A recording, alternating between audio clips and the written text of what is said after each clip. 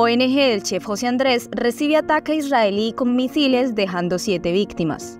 La ONG World Central Kitchen del chef español José Andrés anunció la suspensión de sus operativos en Gaza luego de recibir un ataque aéreo israelí que costó la vida de siete de sus trabajadores humanitarios.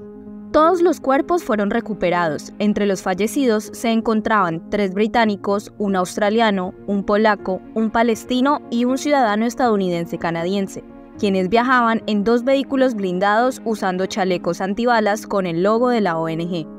En un comunicado, la World Central Kitchen explicó que sus movimientos estaban coordinados con las fuerzas israelíes, pero que su convoy fue atacado luego de salir de un almacén en Dey al-Balá, una zona que supuestamente es no conflictiva. Sin embargo, el medio Aretz citó fuentes de defensa que alegan que un dron israelí llegó a disparar tres veces contra los automóviles.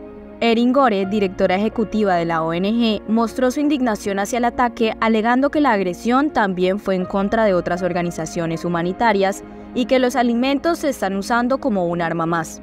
El gobierno israelí debe poner fin a esta matanza indiscriminada. Tiene que dejar de restringir la ayuda humanitaria, dejar de matar civiles y trabajadores humanitarios, y dejar de utilizar los alimentos como arma, no más vidas inocentes perdidas.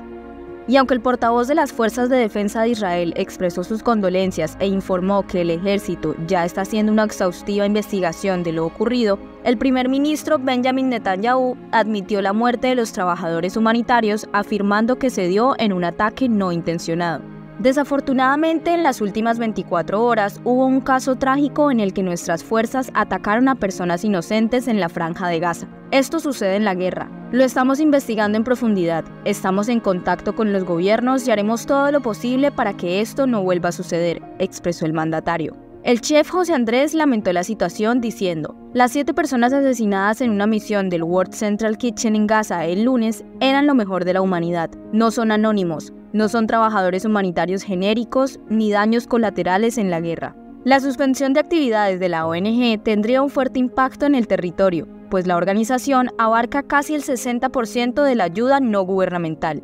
Recuerda darle like y seguirnos para enterarte de las últimas noticias.